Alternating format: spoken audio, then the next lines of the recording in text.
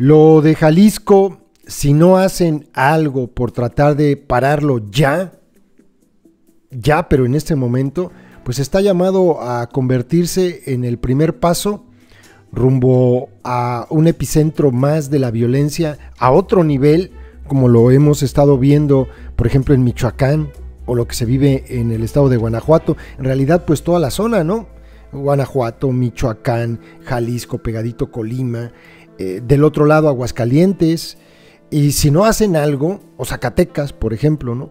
Si no hacen algo, pues las cosas se van a poner todavía peor. Por lo pronto, pues un nuevo topón en un lugar donde han ocurrido sucesos de este tipo en las últimas semanas, hace un mes, ¿no? También ahí en Teocaltiche se dieron otra vez otro agarrón, el cártel de Sinaloa y el cártel Jalisco, circularon un montón de imágenes y videos de, de este enfrentamiento, o lo que acaba de pasar hace unos días, compartimos aquí la información sobre la manera en que unos periodistas de una radiodifusora de allá de Aguascalientes fueron levantados por sicarios en Encarnación de Díaz, allá en La Chona. Bueno, pues en relación a esto, las autoridades dan su versión, pero pues cuáles son los efectos de toda esta violencia. Les comparto primero lo que dicen las autoridades y después van a ver lo que ha provocado ya este estallido de, violencia como tal eh, en muchas comunidades en este municipio. Los efectos, ¿no? Las víctimas de la guerra, las otras víctimas de la guerra. Este es el comunicado de la Fiscalía. Después les comparto también lo que publicó el Ayuntamiento de Teocaltiche en relación a esto. La Fiscalía del Estado inició una carpeta de investigación para esclarecer los hechos registrados en la localidad de El Saucito, en el municipio de Teocaltiche, la mañana de este viernes. Fue a través de un reporte al número de emergencias aproximadamente a las 6.40 horas de hoy que se dio conocimiento a las autoridades de la presencia de varios sujetos armados en la localidad de referencia y poco después se notificó de daños causados a varios vehículos. Al arribo de los cuerpos de emergencia localizaron sin vida a un masculino, así como varios vehículos los cuales presentaban diversos impactos de arma de fuego. En este momento, esto lo publicaron el viernes en la mañana, no, en la tarde, 18.04 horas, en la tarde. En este momento, decía la Fiscalía, personal de dependencia de los tres niveles de gobierno mantienen presencia en el lugar, en donde personal ministerial así como forense realizan el procesamiento de los indicios con la finalidad de obtener datos de prueba que permitan esclarecer los hechos. Lo de siempre. Hasta el momento se han recolectado casquillos de diversos calibres, se tienen asegurados nueve vehículos, cuatro de ellos con blindaje artesanal y dos que presentan daños producidos por incendio. Los trabajos en el lugar por parte del personal de la Fiscalía del Estado continúan en el punto por lo que los datos al momento son de carácter preliminar y una vez que se cuente con más datos se estará informando a la sociedad a través de los canales oficiales. El día viernes fue la última conferencia de prensa que dio el fiscal del estado de Jalisco, pero fue por la mañana, no informó sobre esto, entonces a lo mejor el día de mañana, el lunes, en su conferencia dice eh, qué fue lo que pasó, eh, en qué se ha avanzado, si es que hay avance. Bueno, es un decir, sabemos que no. Y este es el comunicado que publicaba el municipio de, de Teocaltiche, el ayuntamiento, le decía a los ciudadanos que no compartan información falsa, ¿no? A todos los ciudadanos de Teocaltiche, Jalisco y sus comunidades se les informa que dado los lamentables acontecimientos recientes en nuestro municipio, la administración de Teocaltiche, Jalisco, se encuentra trabajando desde el primer momento de la mano del gobierno del estado y las dependencias responsables en materia de seguridad pública toda vez que al tratarse de un asunto de suma delicadeza, se hace un llamado a la ciudadanía a no hacer caso a rumores ni caer en falsa información. Se hace énfasis en que se trata de un asunto tan delicado por lo que el tema no puede tratarse de forma extraoficial y aún peor en redes sociales. O sea, a ver, yo entiendo, en redes sociales se difunden muchas mentiras, es verdad, pero también en redes sociales se difunde lo que estos callan no quieren que te enteres para que no tengas miedo, yo creo, como si el miedo en estos momentos no ayudara incluso a la gente para tomar decisiones que en otras circunstancias no tomarían, como por ejemplo salvar su vida yéndose del lugar, porque esto ha ocurrido. Invitamos a la población a no difundir información que no provenga de fuentes oficiales para evitar caer en pánico en la sociedad. Este es un momento en que se debe actuar con cautela, responsabilidad, serenidad y unidad de parte de todos los teocaltichenses. Perdón. Además, que se podría entorpecer el trabajo de las autoridades e instituciones que trabajan respecto al tema. Por lo anterior, se exhorta al pueblo de Teocaltiche y sus comunidades a guardar la calma y estar atentos a las indicaciones e información oficial que las autoridades responsables haremos de su conocimiento a la brevedad. Eh, la población que se ha visto afectada no está sola. En la delegación de Mechoacanejo se les está apoyando con víveres y se habilitan más albergues temporales en conjunto con la parroquia del Divino Salvador. Si alguien requiere ayuda puede acercarse a las oficinas de la delegación a solicitarla. Y ya. Miren, ¿ven esto?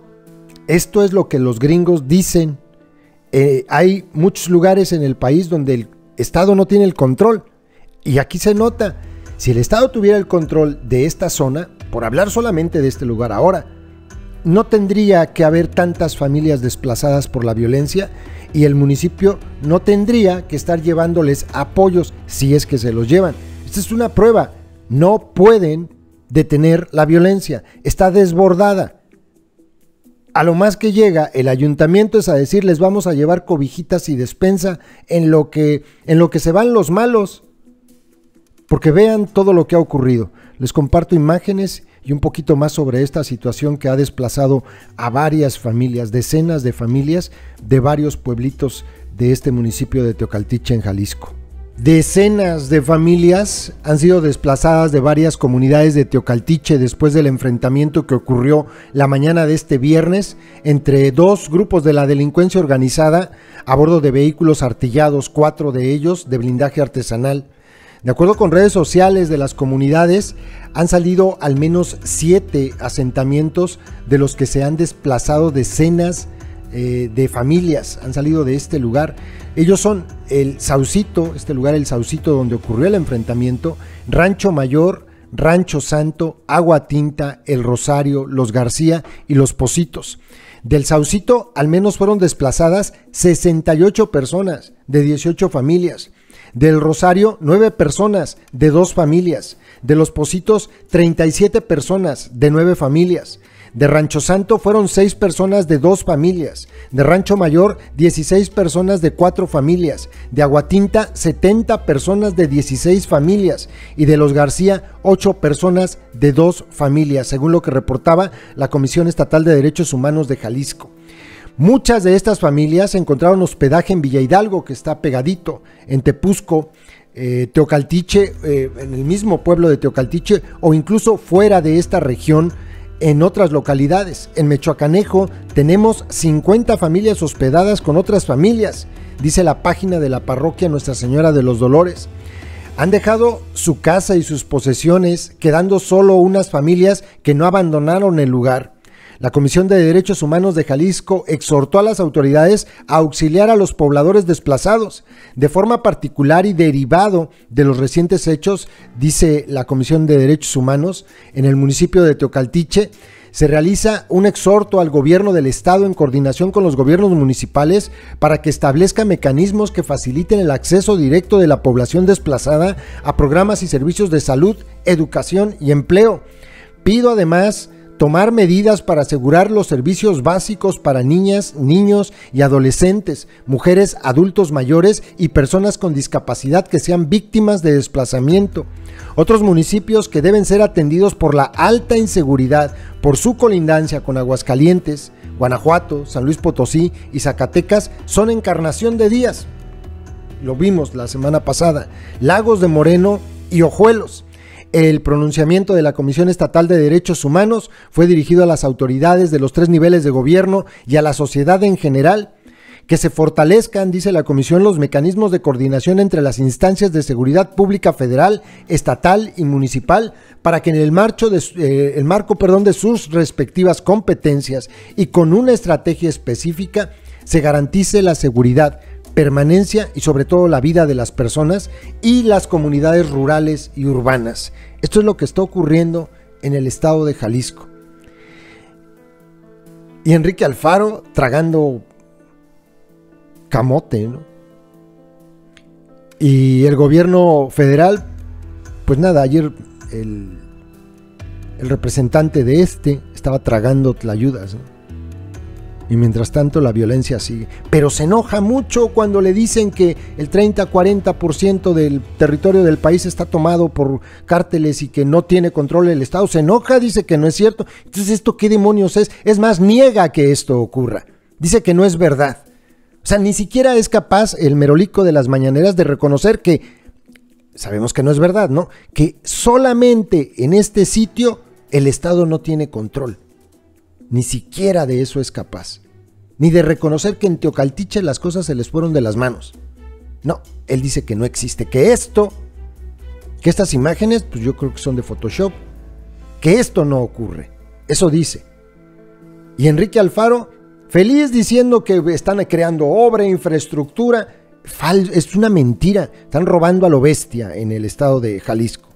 Es muy claro por eso tanta obra de infraestructura inflando contratos, ya nos la sabemos muy bien. Y sobre la seguridad, nada. ¿Qué pasó apenas en Tlaquepaque? O sea, en Tlaquepaque es capaz el crimen organizado de atentar contra agentes de la fiscalía en pleno centro, en pleno centro. Y dicen que hay seguridad en Jalisco. Es falso, completamente falso. Jalisco está por vivir todavía momentos, todavía, todavía peores. Saludos, compas.